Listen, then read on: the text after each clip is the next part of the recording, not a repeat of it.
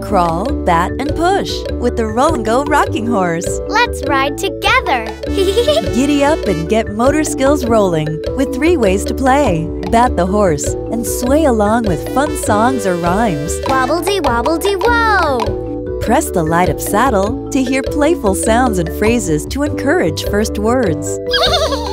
Pat my nose. Or push to discover lights and music and inspire a game of chase that will encourage your child to crawl, all by simply horsing around. Giddy up for learning fun with the Roll and Go Rocking Horse from Leapfrog.